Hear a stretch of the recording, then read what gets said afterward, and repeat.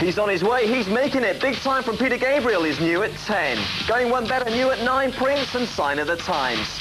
Alison Moyet is still weak in the presence of beauty and no go at number 8. And moving down to number 7 from 4, Freddie Mercury, The Great Pretender. No go for Bruno. Bruce Willis, Respect Yourself, is stuck at 6. And the week's highest climber at 24 to number 5, Janet Jackson.